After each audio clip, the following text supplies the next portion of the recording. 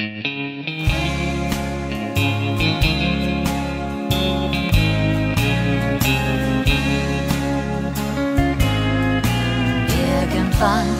kommt jeder Cowboy in den Himmel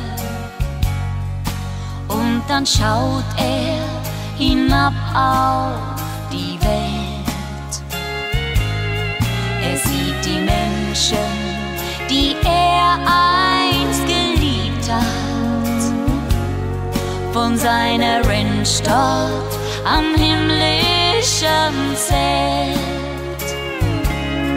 Er hält die Tränen zurück, er will so gern wieder heim, doch irgendwann werden sie all wieder zusammen sein. Er hat geliebt, er hat gelebt, er gab sein Bestes. Aus eigener Kraft hat er die Ranch aufgebaut. Er wollte so gern die Frühlingssonne wiedersehen. Doch mit dem Frühling, da musste er